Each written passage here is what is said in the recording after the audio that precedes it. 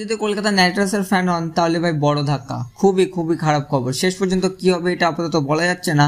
তো বলে আপনিও কিছু আমি ইনফরমেশন দিচ্ছি যেটা হয়তো আপনি পেয়ে যেতে পারেন। তো ভিডিওটি শেষ পর্যন্ত দেখবেন। নীতিশ রানাকে নিয়ে খুবই খারাপ খবর আসলো।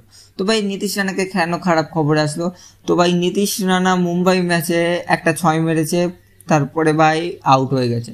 এটা অবশ্যই খারাপ, কারণ নীতিশ রানা এসে পরে ভাই ছয় চার মারতে চায়, কিন্তু সেটা পুরোপুরি হয়ে ওঠে না, এটা আগের বছর থেকে দেখছি। কিন্তু নীতিশ রানা যে মুরগান ওয়াসিনের বলে আউট হয়ে গেল, তারপরে তিনি ভাই যে খারাপ আচরণটা দেখেছে, অর্থাৎ যখন তিনি আউট হয়ে যায় আউট হওয়ার বাউন্ডারিতে গিয়ে যেই ভাই অ্যাডভার্টাইজ বোর্ড ছিল, সেখানে জোরে ব্যাট শুদ্ধ অ্যাডভার্টাইজ বোর্ডে মেরে অ্যাডভার্টাইজ বোর্ডটায় অনেকটাই ভাই ক্ষতি হয়েছে এবং তার সব ক্ষতির থেকে বড় কথা ভাই তার খারাপ আচরণ। তার খারাপ আচরণের জন্য আপাতত নীতিশ রানাকে এক মাসের জন্য বসিয়েও রাখতে পারে।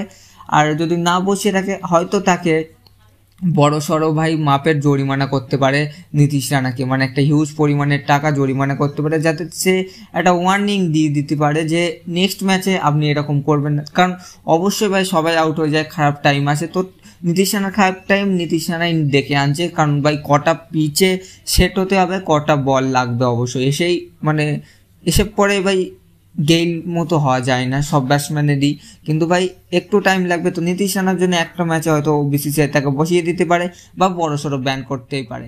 এটা আপনারা দেখতে পারবেন।